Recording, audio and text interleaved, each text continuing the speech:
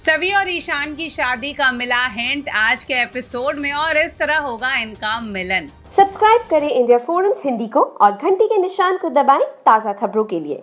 Serial गुम है किसी के प्यार में। आज के एपिसोड में आप देखेंगे कि सभी घर से तो भाग गई है। रास्ते में उसे कुछ मुसीबतों का सामना भी करना पड़ता है।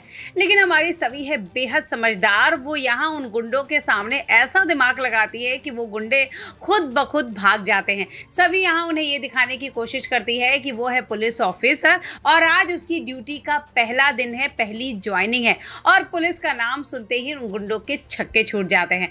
बड़ा ट्विस्ट ये है कि आप देखेंगे सभी पहुंचेगी ईशान के उसी कॉलेज में जहाँ उसे एडमिशन लेना है और उसे भेजा है ईशा ने यानी ईशान की माँ ने।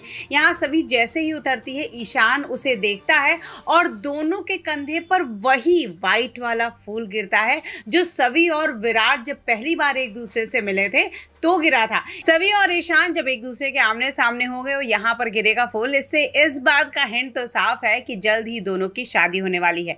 और हम आपको बता दें, ईशा, यानी ईशान की माँ सभी को बेहद पसंद करती है और वो सभी का हर तरह से ख्याल रख रही है और वो चाहती है कि सभी अपने सपने पूरे कर ले, यानी वो बड़ी पुलिस ऑफिसर बन जाए। सभी इसी कॉलेज में एडमिशन लेगी और यहाँ उसकी कई बार मुलाकात होगी ईशान के साथ और इस वजह से दोनों एक दूसरे के करीब आएँगे। साथ ही ईशान को पता चलेगा कि सभी उसकी माँ ईशा के बेहद करीब है और वो करेगा कोशिश अपने मम्मी पापा को एक करने की और इसमें लेगा सभी की मदद और इस तरह वो अपने मम्मी पापा को एक करने के चक्कर में सभी के बेहद करीब आएगा और अपने मम्मी पापा को एक करने के लिए और अपनी माँ की पसंद सभी को पसंद करने के लिए उससे शादी करेगा।